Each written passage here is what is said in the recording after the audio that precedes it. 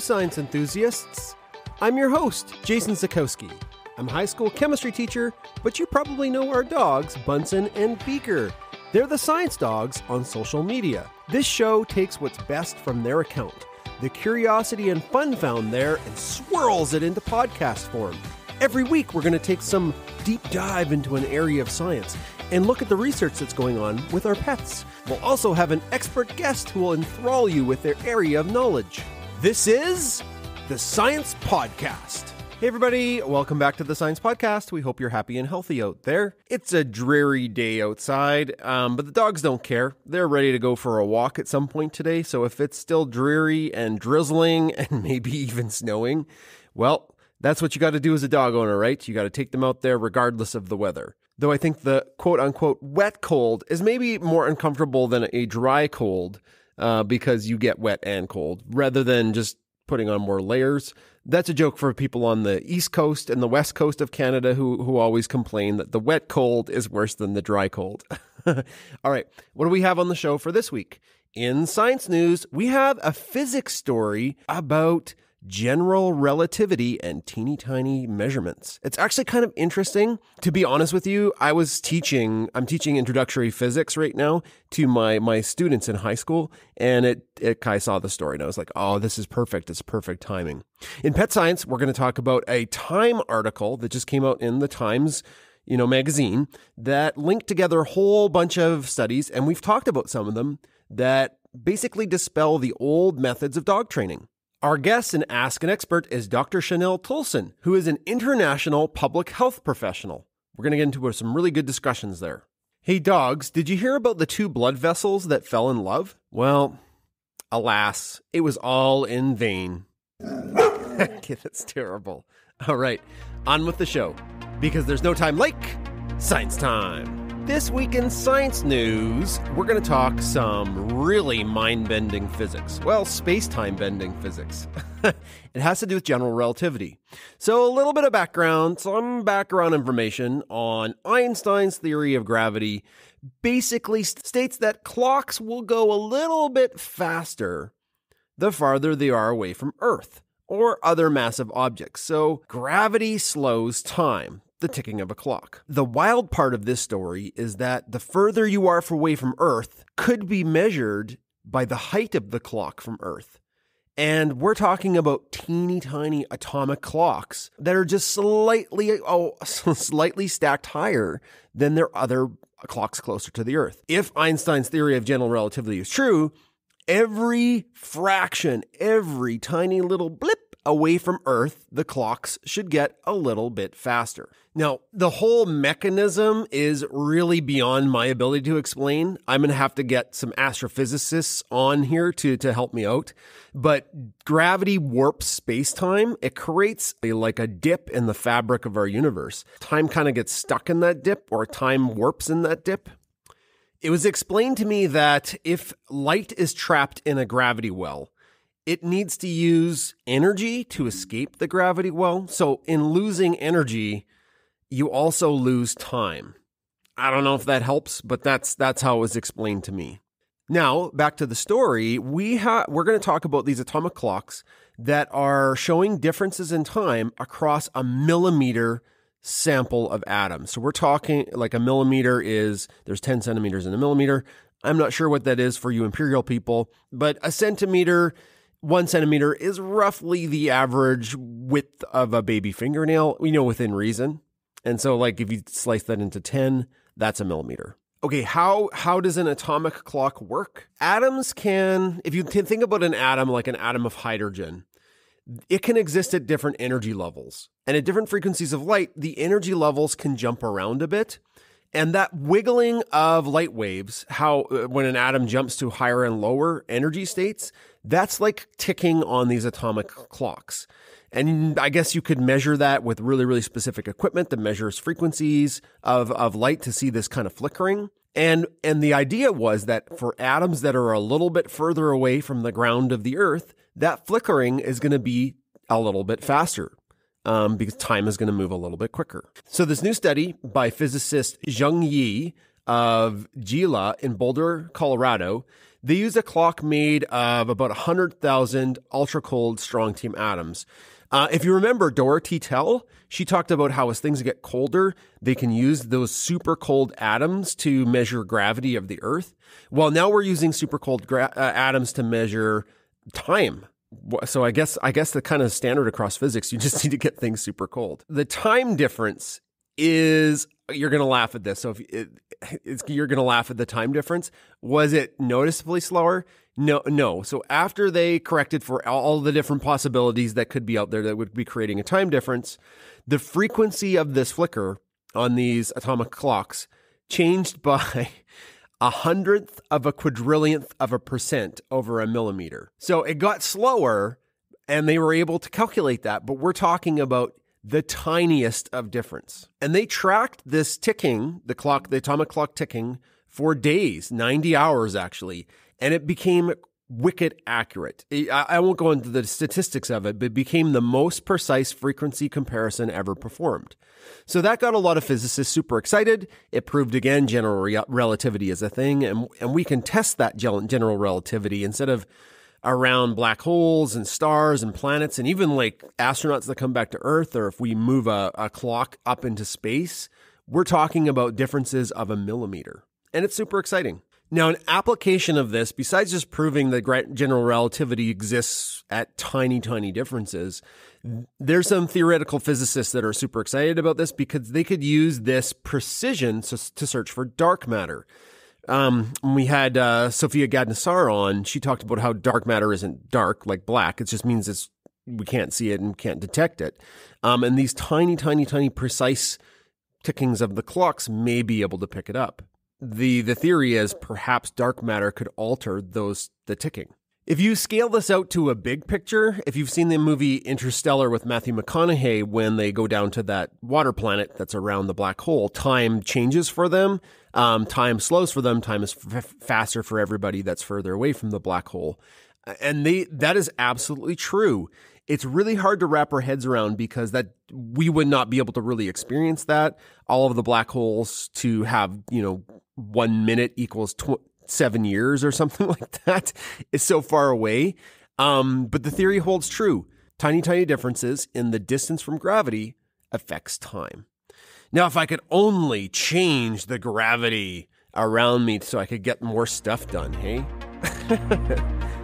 that's that's science news for this week. This week in pet science, I'm going to talk about the new Time article in Time magazine that was really interesting because it tied together a whole bunch of stuff that we've been talking about on the podcast for the last two years and how Bunsen and Beaker are trained by Waggles and Red Deer under Shar's direction, Shar Mulligan, um, who we had on uh, Twitter Spaces. And the whole idea is that the science behind dog training is changing. Now, this is no some, not so much a study as in a conversation. I just wanted to highlight some of the things that they talked about in the Time article. Um, you can check it out. I believe it's in the October edition of Time. And the whole idea is that there's this um, alpha theory that was prevalent in training before, where you had to dominate over your dog, you had to use um, negative reinforcement or or negative you know negative cues leash corrections pinch collars um, scolding things like that. You had to be the boss. It's been debunked as a way that is the best to train your dog. We talked about the study a couple weeks ago where um, they paired up dogs with positive correction positive training to um, the negative correction of like shock collars, and the dogs that didn't have any negative training techniques did better, retained information better, and were more excited to try new things. They were less fearful. One of the reasons maybe why this is so important, and it's and we're seeing this, and I'm sure you are seeing it where you are, and it's kind of sad, is that during COVID, people got pets. We were trapped in our house, everything was shut down. Uh, a lot of people could work from home and they got dogs. They got puppies, they got dogs from shelter dogs, which was awesome. But now some dogs are being returned. And people just don't know how to train their dog. People go on the internet and maybe they try one method they see on YouTube and it's not working for them. And the other big problem is dogs haven't been able to socialize as easily during COVID. And that's a huge, huge thing that needs to be done for puppies especially. Bunsen struggled after he broke his toe. He was we were taking him to puppy training and we were taking him to socialization classes and then he randomly broke his toe and he was out for like 2 to 3 months. And by the time he was back, his personality had changed. He was more fearful of other dogs. He wasn't as friendly with people. And that was it was really sad because he was such an outgoing happy guy. And he still loves us. He's still like he's he's still pretty outgoing. But i think when he was uh, when his formative years that really changed his personality. And he's definitely not as outgoing as beaker is. The time magazine found another interesting study that i i didn't come across but it was talking about how guide dog training has changed and they they by moving to a more positive reinforcement training click like clicker training and um, praise training they train the dogs for b- people who are blind in half the time, and they're able to stay with their person for longer because they're less stressed out. There is some pushback to positive reinforcement, and it maybe comes from prof- the professions of dogs that need aggression. So we're talking about military dogs and police dogs.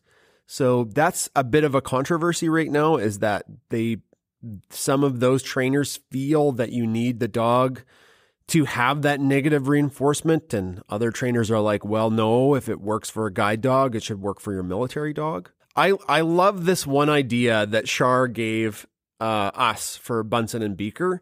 And we use it when the dogs go outside, they have to sit. And if a dog is scratching at the door to go outside, you can, like, especially if they've gone pee or poop and you've taken them for a walk and they're just trying to go outside. The old adage was you would ignore the dog.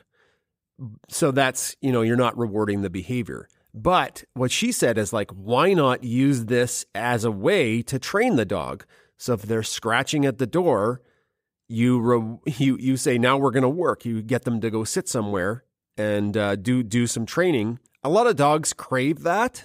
So Bunsen has toddler time, and toddler time generally goes away when we give him attention, but it also goes away when we put him to work, like doing treat, tr- you know, tricks for treats and reviewing cues. We're working on bow, which is kind of tricky. and uh, I know toddler time is really high if he hasn't been exercised and his brain hasn't been stimulated. Um, Beaker's good to you know, give her like a puzzle toy and she'll solve that, but Bunsen Bunsen likes to have some kind of job before he goes to sleep at night. The most popular training techniques now are positive reinforcement. Like you can get your dog to do the thing with negative reinforcement, but you can also get the dog to do the thing with positive training. And it all comes down to making a stronger bond with you as the handler, as the companion, as the parent of the dog. And the studies overwhelmingly show that with positive training and, and praise training and clicker training for treats, this the bond with the handler becomes stronger over time. And that's adorable. That's Pet Science for this week. Hey, everybody, thanks for listening to our show week after week. If you want to know how to support the Science Podcast, here are a couple ways. It's always going to be free to download, so you'll never have to worry about paying for it. But, you know, things do cost money running a podcast, and, and here are a couple ways you could help us out. One is join our Patreon page. It's amazing, it's growing, it's almost like an extended family. There's multiple tiers of support, and we have lots of fun perks for being part of our Patreon page.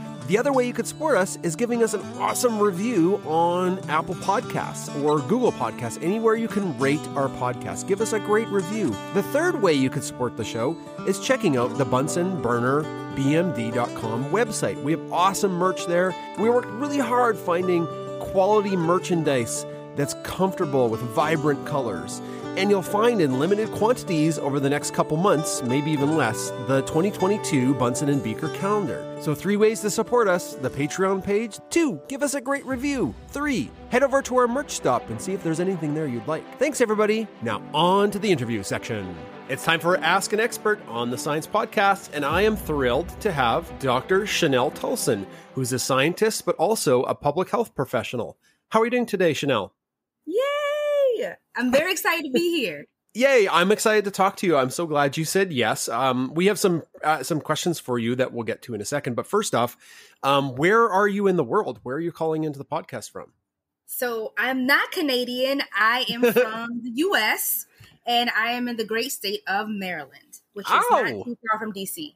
right, right. From DC, not BC, right? Yes, yes, yes. I thought you said BC, and I'm like, oh no, no, no, no. Um, that, that, that's hilarious. Um, I talked. One of our last guests was from Maryland as well. It's a, it's one of the smallest states, isn't it? Small world. Yes, it is. It is. Yeah. It's very small state. You can drive across it in like an hour or two. Yeah, that's what the guest said. If you have to drive more than two hours, you need to pack a sandwich or something like that. Yeah. is Maryland your home? Like, were you did you were you born in Maryland? Is Maryland where you're from, or if you are you from somewhere else? I uh, am from Maryland, born oh, and cool. Oh, look at that! Here. Look at that. Mm-hmm. That's awesome. Yep.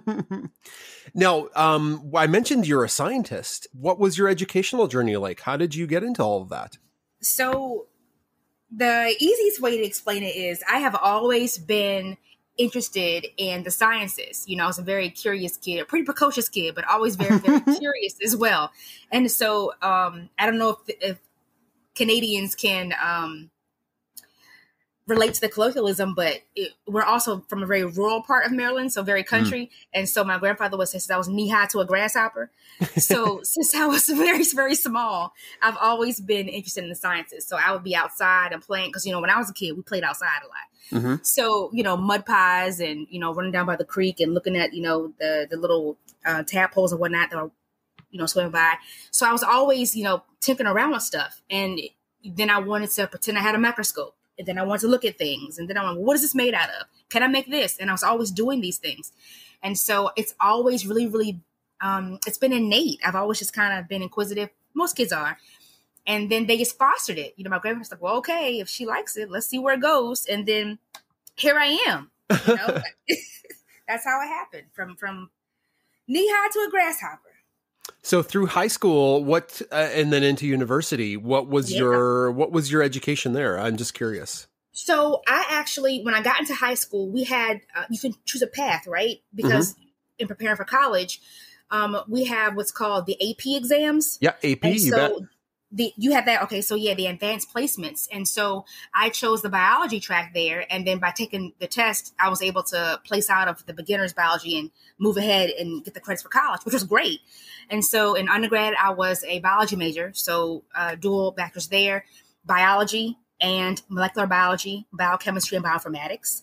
And then from there i moved on to get a master's degree and i chose science education the molecular biology route and then from there, I moved into public health and I have a doctorate in public health.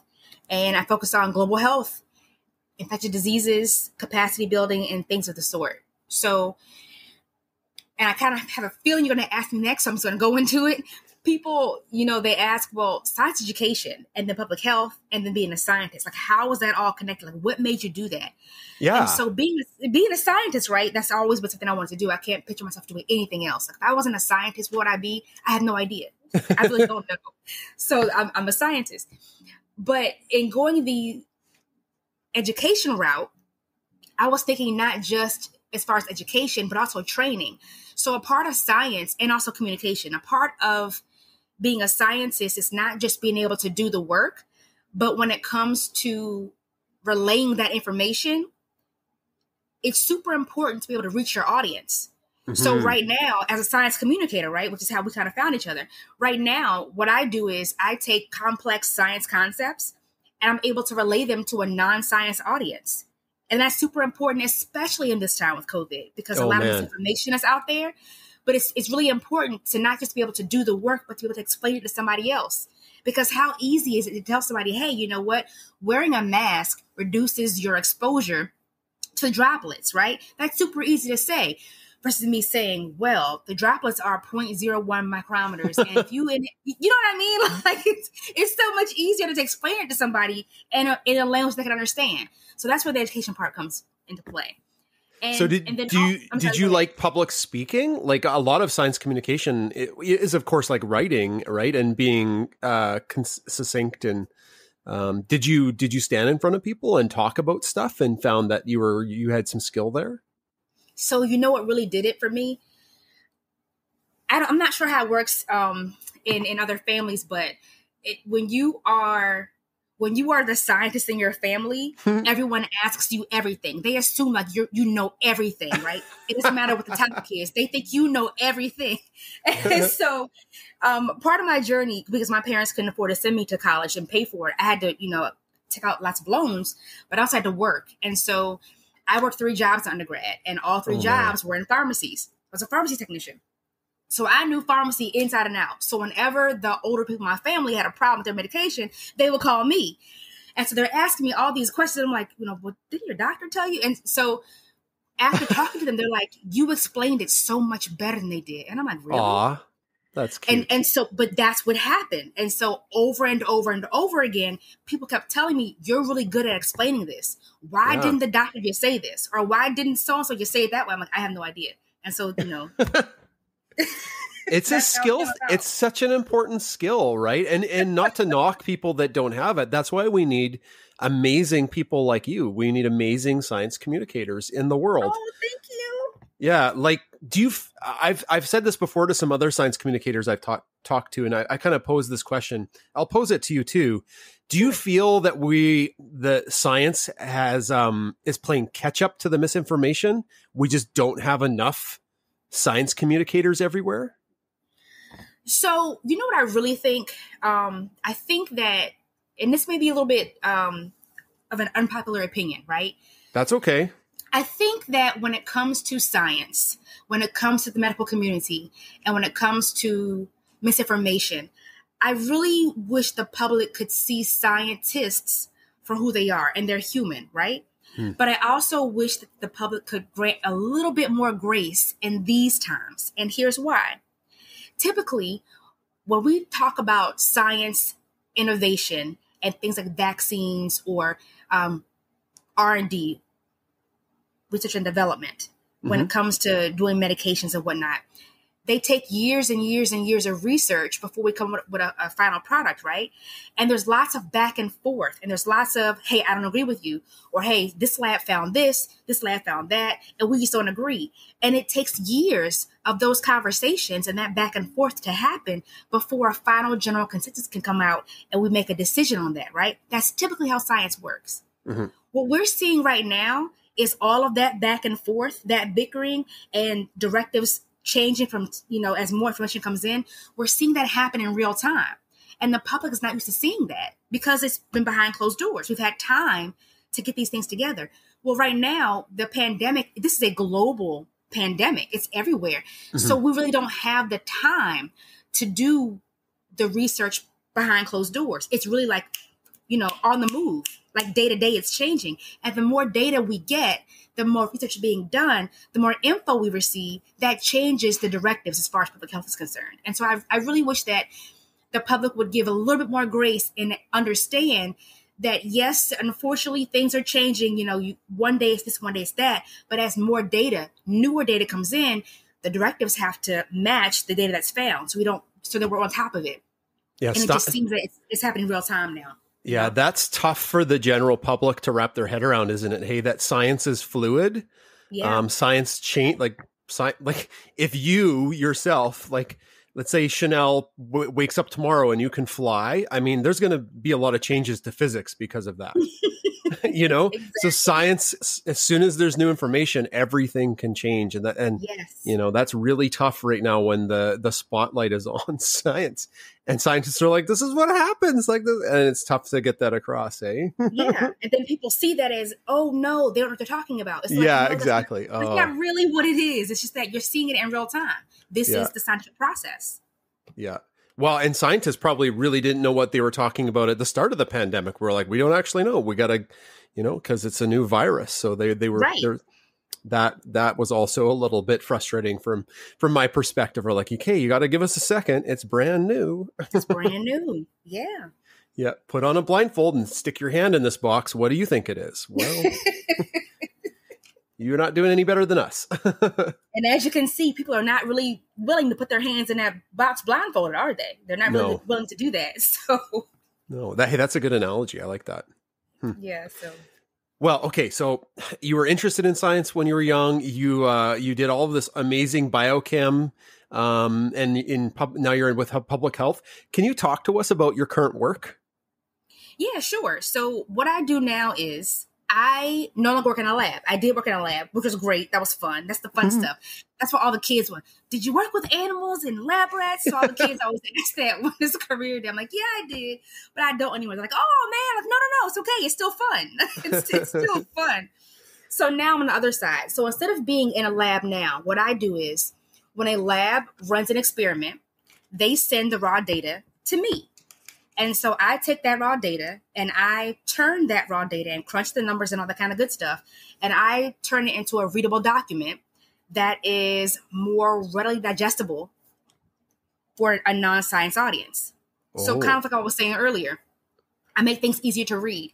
So, if someone says, Oh, can we talk about teratogenesis on here? People know what I'm talking about? Or changes in DNA and mutations. Okay, so let's just say I'm be, I'm exaggerating, right, to like a million. But let's just say there's a compound that um, a company wants to put into I don't know um, cereal. Let's just say I don't know, but I'm exaggerating sure. times a million. Okay, I'm exaggerating. Yeah, and it's a flavor enhancer, right? It's going to make your cereal taste like the best cereal ever. but but if you eat it and you decide, and you're so let's say you're a mommy, you're a mommy that eats it, and then you're having a baby, right? Yeah. And your baby comes out and it has instead of having two arms, it has four arms. Right. So, so now little baby has extra arms, right? So, so you, your lucky charms weren't weren't so lucky. Exactly. So those kinds of things are not advantageous. They're not good. It's not a positive result.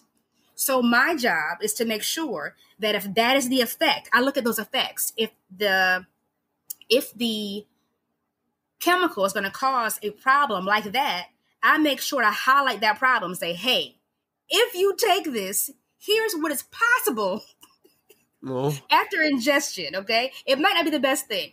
But I'm again, that's a gross exa- exaggeration, but that's what I do. I make sure to check for things like that. Right. And there we're talking about risk mitigation and like small changes and prolonged exposure versus the amount of dose you're taking, all of that probably that factoring. Exactly what we're talking about. And mm-hmm. let us remember, here's our first lesson, right? In tox. Death is in the dosage. Anything in you know large amounts will take you out of here, right? So yeah. death is in a dosage. So it's important to understand, even though you're dealing with natural things, right? Even natural things can cause problems. Soya sauce. Soya sauce is deadly if you drink enough of it. Uh, did you know that arsenic is in apple seeds?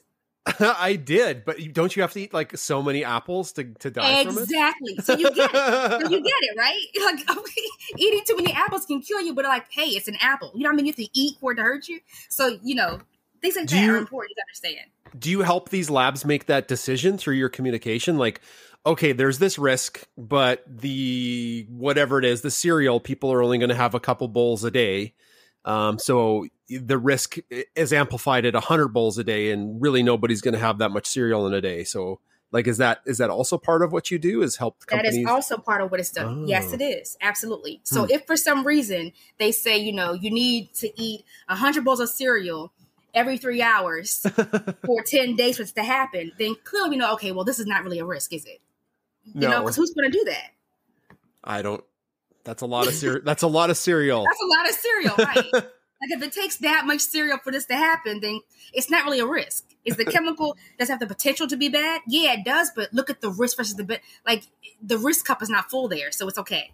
do you? Ah, I have another follow up question. Um, do you feel a lot of pressure to catch that stuff? Like, man, that's a lot of responsibility. I oof. And that's why we have a team. oh, okay. All right. Like if it was just me and somebody sent me some data and like, hey, can you figure out what's gonna happen when people eat this stuff? And I'd be like, ah, I'd be like just a I'd be a walking anxiety shaking like stress. Yeah. yep, that's what's a team of us. Okay, and, and you cool. know, we've been very, very successful at getting it right. Aw, awesome. Awesome, awesome. yeah. So one of the things that's in your profile, and it's linked in your Twitter profile, is uh, Stembassy. Did I say that correctly? Yes, Stembassy. Can you talk to us about Stembassy? It sounds really interesting. Yes, I love Stembassy. So Stembassy, uh, um, and our tagline is where STEM ambassadors meet. So it literally is STEM ambassadors, people who are in every letter of the engram. So S T E M. Um, so when you are a scientist a tech person, a engineer person, or a math person, whatever M, whatever letter you represent, you come onto the show. We it's like a video podcast or a, a vlog. Is that what the kids call it now? A vlog. So, yeah, vlog. Yeah. yeah. And so um, we interview different people. Oh, cool. Yeah, and we talked to them about about their work, kind of like what you and I are doing now. Yeah. And we talk about their work, what they do, why they love it, how they got into it, their background, and their STEM story, if they have anything interesting going on and we just really make it relatable so that people who think scientists are just like you know they look like Albert Einstein or they're stuck in a they're stuffy people. We kind of want to be relatable and let people know that scientists are real people and they do fun stuff. They're not just you know like Yeah. we're lab rats, you know, but we're still fun people. And so it's all about just showing the other side of STEM. I love it. That's cool. That's cool. And it's it's video, right? That's what you said? Yeah. Yeah. So no, so it's on YouTube. I was going to ask. Um, we'll have a link to it in the show notes. Um, uh, and I apologize, I didn't check it out. I thought it was. I'll cut this. I thought it was more of an organization than a. Uh, well, it is, but than a than a show. That's amazing. I'm gonna have to. I'll have to watch some episodes of that.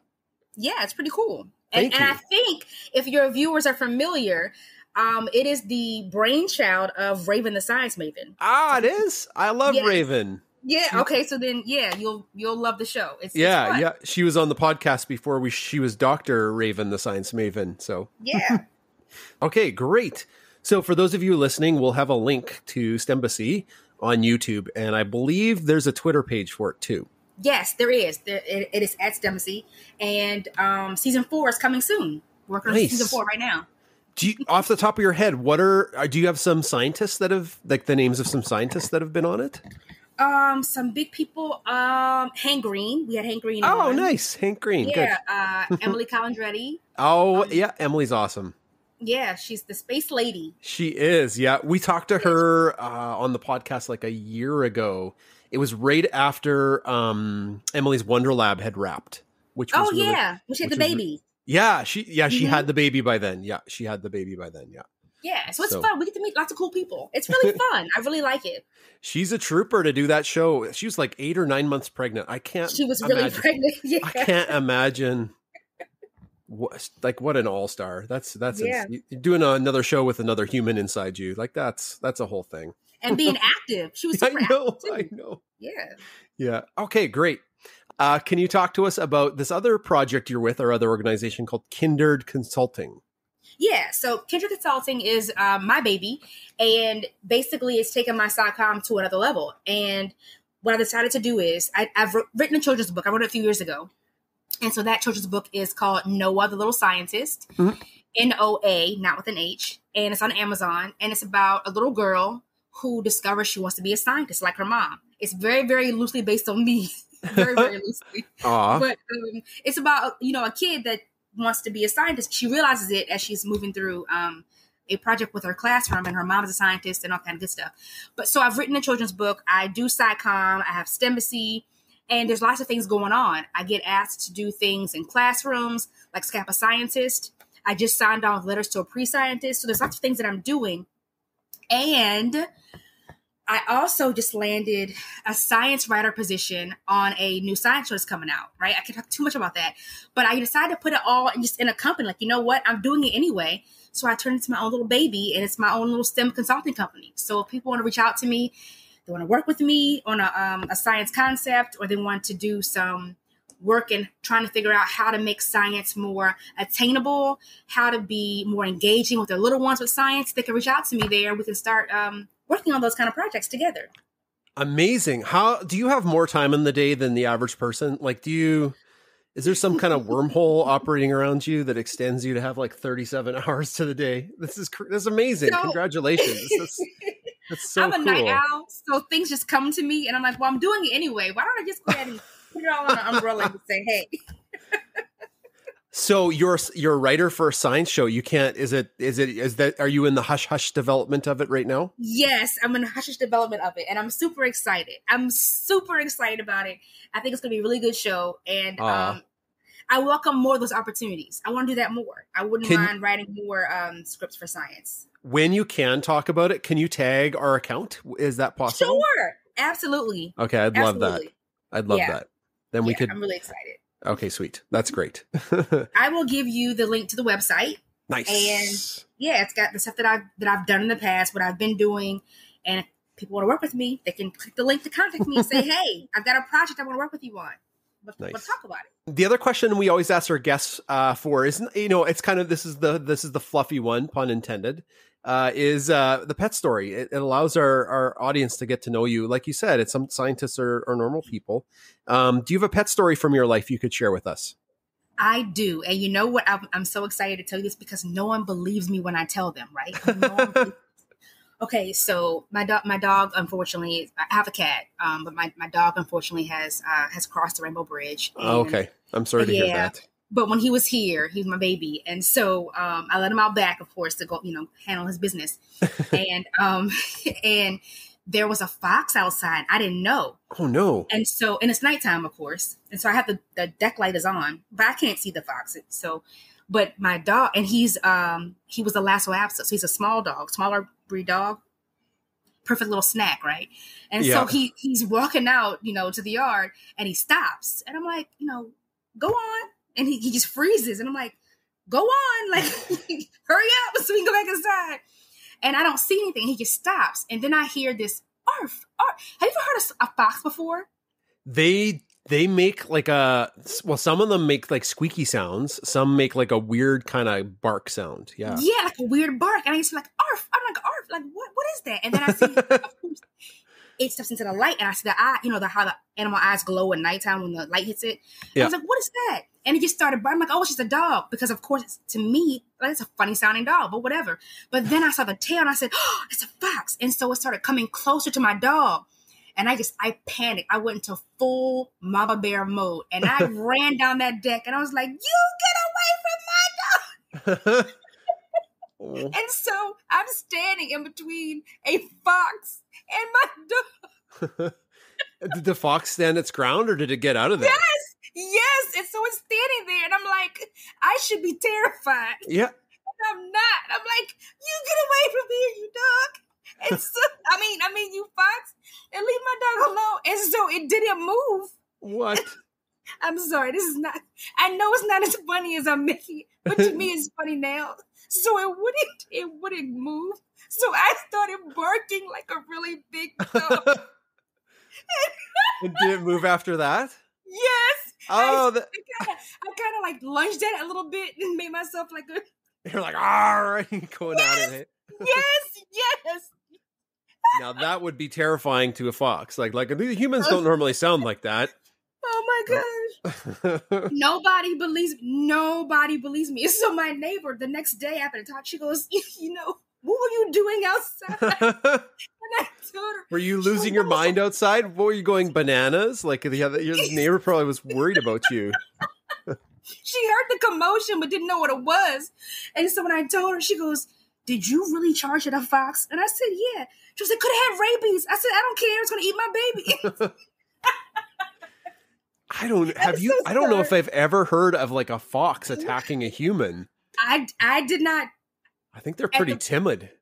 I had no idea. All I know is my dog was scared to handle his business because there's this fox out there. And when I went out there, I fully expected this animal to run, and it didn't.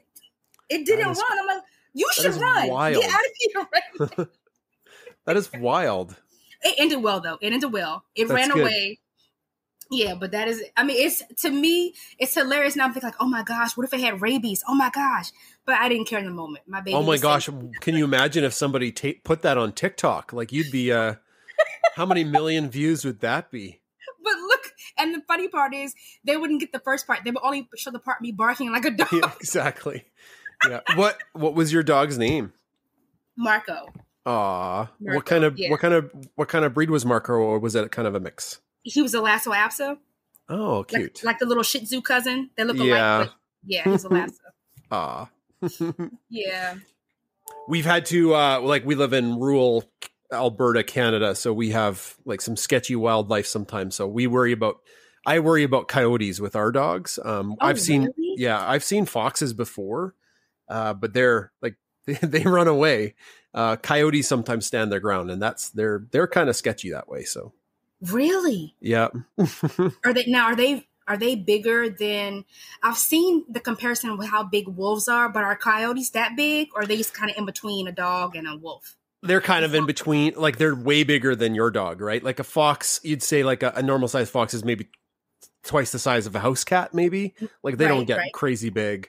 Yeah. Um, a big coyote is maybe the size of a golden retriever, so they can get pretty big. Um, Oh, but wow. the scary thing is they, unlike foxes, coyotes work in packs like wolves. Um, so they're usually not alone, um, and that's what's yeah, that's what's uh, sometimes the problem with coyotes. oh wow. but having talked to you, if I do see one, I'm gonna bark like a dog and charge. I don't it. recommend that at all. No, I no I'm just kidding. Oh my God. People are gonna hear this and be like, "She's crazy." No, they're gonna love what it. you do? What would you do if it was your baby? Uh, What would you do? I would, I would, I would save my dogs. Absolutely, yeah. I talked to another guest from Florida, and they were like, uh, their their pet story was the dog got two a crocodile or an alligator. I forget which one of the twos lives in Florida. Um, I came out of the water, and they were like ready to like tackle this massive rep- reptile to save their dog. So they're just like our, you know, there are there are fur fur babies. So yeah, my fur. Yeah, my fur yeah. Yeah. Well, thank you for sharing your pet story. I, I I had tears coming out of the side of my eyes. oh um, my gosh. the other uh, the other question we ask our guests uh, for is the super fact, and the super fact is something that you know that when you tell people, it kind of like blows their mind a bit. Um, do you, do you have a super fact for us? So I have um I have idiosyncrasies, right? I have a couple of them, but but the one that I think people really, really are just like, what? Like you're a weirdo. And I'm okay. I, I own it. I own it, right? so pen caps. I do not like to write with a pen that does not have a cap on it. Oh, really? Yeah, and I'm You got to sure take them off. You got to take them off. I gotta put them on. It has Oh, to have you- a cap. Oh, it has to have a cap. Oh, Yes. okay. So and, and even when let's if I'm at the um, I'm also an adjunct faculty member. So when I'm even teaching on campus, even the dry erase markers, I have to replace the I take the cap off the front, obviously, and put it on the back end. And, and if I don't have it, it really like it bothers me. I don't know why, but it I will not write with it. You know, mm-hmm. you go to the bank and they have those pens on the chain. I hate those. I hate them. Those are the worst. Th- I do you are do they still exist? Yes, but Oh, then man. now when the ink runs out, they just you know now they have the little the little bowl of pens or whatever. But in some places they remove all the caps off the end. I'm just like I can't. I can't. and I'll ask someone like, "Do you have a, a pen that has a cap on it?" And if I change purses when I have my pen, sometimes you know, well, ladies change purses, right? So if I change purses and don't put a pen on my purse, it it gets really aggravating because I'm like, I have to ask someone for a pen with a cap, and they're like, "What, lady?" I'm like, "Please." And if they don't have one, it just it, ugh, ugh, it bothers me. I don't know why it bothers me so much, but it does. But yeah, You- that's that's my my, my fact. Every everything like that, I'm sure there's some kind of scientific name for it. Um, Yeah, so it's know. it's just out there somewhere. Yeah. Oh, you want a part two to that? Okay, Sure. So here's, part, here's part two. I right? I am just enjoying this is this is a highlight of my day just listening to you talk. um pen cap. So I have to the a pen cap, but also I don't like um those fine tip pen. I don't like the fine tips because they. I like a ballpoint pen where it has to like roll over. The So like paper. gel tips, like those ones that are really sharp. You don't like no gel tips, no gel tip pens, no fine tip. I want a, a regular ballpoint ink pen that it's it smoothly flows over the paper. And a whole pack of pens will last me at least a year because I I use one pen until all the ink runs out. I don't use the next pen until the first one is done. I If would I send you some Bunsen and Beaker pens uh, because we have Bunsen and Beaker pens, but they they're the clicky ones at the end. They don't have a cap. There's no pen cap. Oh my No, god! No, so I can't. I was gonna say they're they're ni- really nice ballpoint pens, but they don't have a cap. I want to say thank you so much. I'm like, mm-mm. No, It'll no, it's me- okay. I get it. I get it. but yeah, yeah, I use the same. It lasts me forever because I don't use the next pen until the uh, the first one, and the ink has to run all the way down. If Oh. it doesn't, I'll keep using it. Mm. I'm a weirdo. I own it. It's okay. No, there's everybody has things that do make them crazy. Um, I am I do not like clowns, and uh, I'm a high school chemistry teacher. Like I teach high school sciences, Mhm. um, and uh, I teach physics sometimes too. So I all of my problems in physics and kinematics are running away from clowns. You know, trying to escape the deadly clowns. Your acceleration, you know, all of that kind of like easy first level physics stuff where you can do distances and speeds. Um, and the kids are like so sick of clowns by the end of it. But I think I hopefully I've put a healthy respect of clowns into them. That's my goal. so, can I ask you a question with this? I have two. Sure. Okay, the first one is um, the easy one, right? So you teach physics, like you like physics on purpose. um, I like I like that I like the hands-on uh, aspect of some of the more introductory physics. Um, it gets you really have to uh, like the world of physics if you're getting into like theoretical stuff because you can't do that necessarily with your hands. You have to like crunch the numbers, right? Mm, yeah. Okay. So that that aspect of teaching I love, where we're like racing cars and calculating friction coefficients and things like that. That's fun. it's like Charlie Brown's teacher. Like what? Some kids don't get it either, but they really like racing cars. That sounds familiar. Okay, my other one is the clown. What happened? I don't know. I just don't like them. They they I think maybe there was one at a birthday party when I was young and they're just like, you know how some kids uh I don't know if you've ever seen this. They they, they take the kids to see Santa Claus and the kids lose their mind cuz Santa Yeah. Claus to them is so weird. Yeah. or the Easter bunny. The Easter bunny is terrifying when you think of it. Some human-sized giant rabbit. Go sit on its lap, you know? Oh my god. Sound the way you describe it, that does sound kind of weird. So okay. Yeah, so I think that's what happened to me. And it's not like I'm going to run away from a clown or I can't watch like Stephen King's It. Um, but I just don't like them. If I see one, I am not going to go near it. Um, no. wow. and that's just become a fun thing in physics where all of the physics problems revol- revolve around clowns. That's funny. I bet you they like that too. They do. They do. I think by the end of it, they're like, can we have something other than clowns? I'm like, no, that's when the clowns get you. As soon as you stop paying attention to them, that's when they get you. So That's we're not doing you. that. We're not doing that. That's funny. Well, this That's this this little this little section here went off the rails, but I'm glad that it did. Um, thanks for sharing your super fact. We've had some super super super facts in this area. um, so the last the last part of the podcast is a fun one. Um, we get to talk about things that are really important to our guests, maybe outside of what they're doing with their job. Um, some guests talk about their hobbies or causes. You wanted to talk about a public health show. Did I get that right? Okay, You did. K- talk talk to me about this. I'd love to know sure. more. Sure. So I think that when it comes to SciComm, I'm pretty decent at SciComm, right? I think when I say things, people get it. They understand what I'm talking about. I would really, really love to take what I do and have it on screens in households across the world, all around the globe. Oh, I think it's super important that we. So my doctorate degree studied um, global health, right? So I was a global health uh, nut. Well, I am a global health nut, and I think that if I could do my own show, it would be. Are you familiar with um, Lisa Ling? uh, no, I'm not. I'm sorry. Explorer.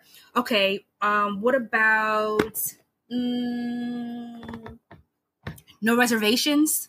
I have heard of that. Yes. Okay, Yes. so think no reservations as far as the with Anthony Bourdain, right? So so that um that in your face culture, food, the people and whatnot, and then I guess the anthropology or the investigative journalism portion with Lisa Ling, so the serious side, and then me and my vivacious personality and my, my relatability to people.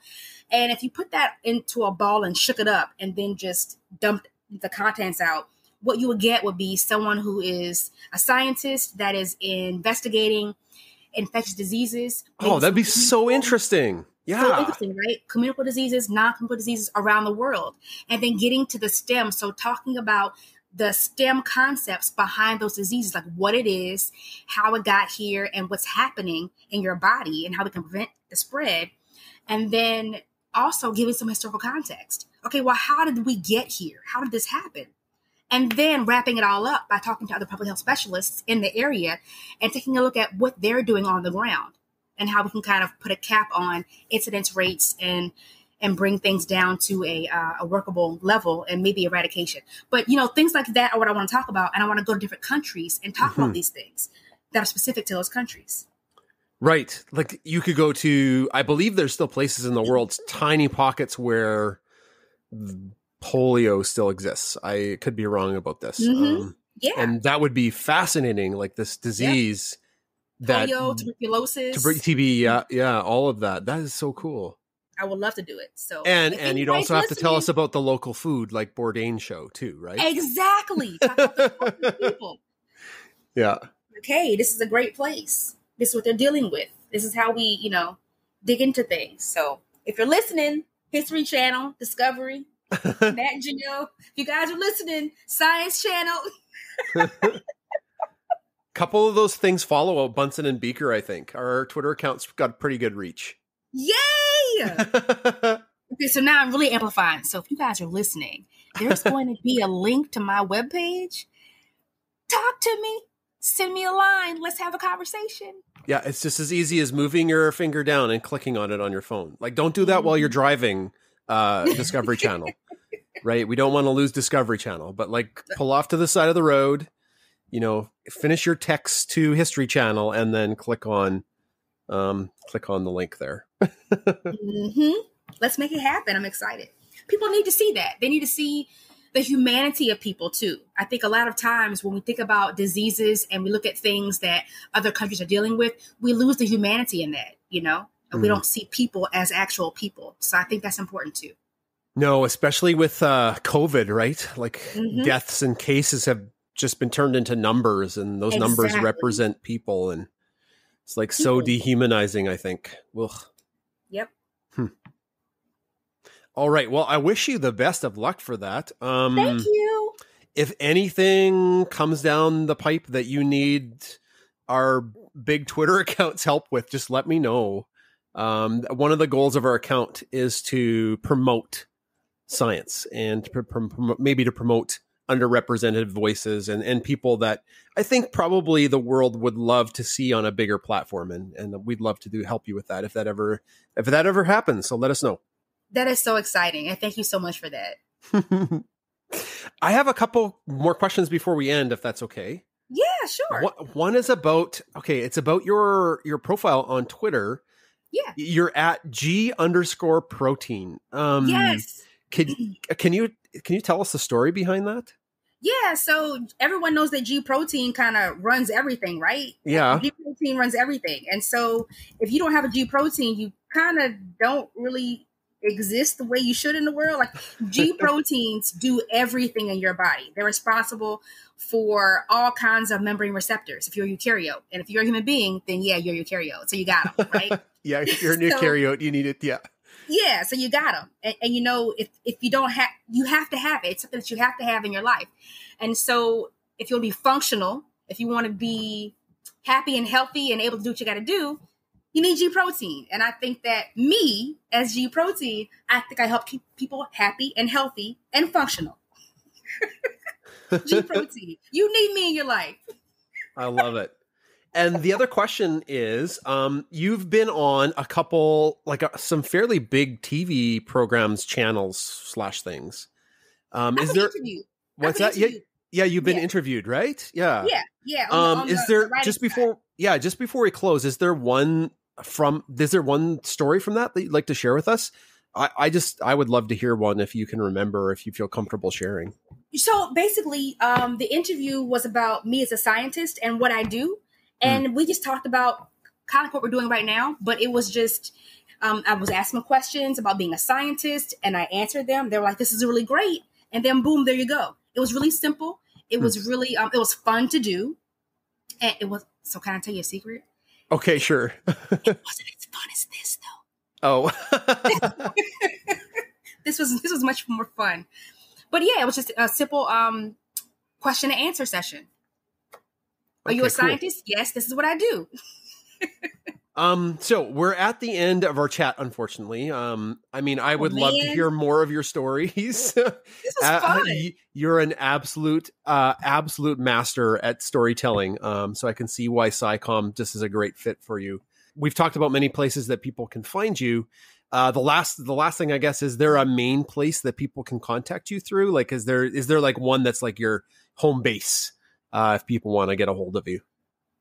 If they want to get a hold of me, and I'll drop you the link, you'll have the link from me. Um, they can go to the webpage if they want to talk to me about working on projects or even things like um, getting me to their classroom. I, I said earlier that I actually got matched with a classroom. I'm doing Skype a Scientist, and I just finished the training for Letters to a Pre Scientist. So I do things like that also. So if you want me to come to your classroom and drop in, or if you want to work on a project with me, if you have a science show, you need a script written, reach out to me. and I might personally, I might reach out to you to come to talk to my my class because the, the, my day job is a as a high school teacher. So Sure. Sure. just have to get the time zones down. That's all. We do. Because you're in Canada, right? Yeah, we're Mountain Time. Um, you're two hours ahead of us. You're two hours in the future. Yeah, it's Okay, not too yeah. bad. It's not insurmountable like the guest I spoke to from Poland this morning. Oh, wow. yeah, they're like uh, 18 hours uh, ahead or something like that. So they're in Not not quite already. that. No, I'm sorry, not quite that far. Like seven or eight hours ahead. Yeah. cool. Well, this has been an absolute treat to talk to you today. Thank you so much, just from the bottom of my heart, giving up your time to talk to the Science Podcast about your area of science, uh, your awesome pet story. Um, I've had so much fun. Thank you. Thanks so much. I really appreciate the opportunity to come on and talk to you. This is really fun. Okay, it's time for story time with me, Adam. If you don't know what story time is, story time is when we talk about stories that have happened within the past one or two weeks. Dad, do you have a story? My story is about when it's cooler. So Bunsen is really enjoying the weather and he's really enjoying the walks. There was a time in the summer where he kind of refused to go for walks. I think it was too hot and he was really uncomfortable. Now, now he's good to go because this is his time to shine and it's almost going to snow. And I get to go too. Yeah, and Chris has been coming. That's great. We'll see how long that lasts. Anyways, uh, That's a little rude. so when the dogs are in the forest, they now play forest tag with each other. And I, I swear one of these days it's going to end badly. Somebody's going to fall in a ravine. They're going to get stabbed on a fallen tree. But the dogs chase each other and parkour over everything in the forest. And I need to get it on tape one of these days. Some days they do it, and some days they don't. So it's kind of unexpected. They're just like, ha. I, and it's and, and I don't know who's going to start it. Sometimes it's Beaker that starts it. Sometimes it's Bunsen, and they zippity doo dah around the forest, jumping over logs and and you think that Bunsen can't move very fast. He's like, oh, he's a big tank guy, and he pretends he's really slow. No, he's to- he's fast. He can jump over trees that are falling down, not over tops of trees. Um, and he's just as fast as Beaker. He's smarter than Beaker at like triangulating where she's going to go, but she's way faster than him. So it's a war of wits and brains versus speed, and that's the force tag story. All right, back to you, Adam. All right, it's time for my story, and my story is fantastic. I have hair all over me now. Um, my story is amazing. So I was on the couch. I was watching Parks and Recreation, um, a really good show. Hey, so basically, I was watching Parks and Rec, and then I look over to the turtle, and he's like, because he's got to get on his rock, and he's got little talons, He does. and he's climbing onto his rock, and then he goes. I'm like, okay, funny turtle noises, and then I hear a Ka-dunk, ka-dunk, dunk, dunk. Ka-dunk. And then I look over and I'm like, what the heck happened here? it's like when Ant Man returns from uh, like Endgame spoilers. I mean, if you haven't watched it, get ready to have spoilers. Um, it's when Ant Man returns. He's like, what the heck happened here when everyone's gone? After the snap. after the snap. Anyways, I look behind, I look over there, and I'm like, where's the turtle?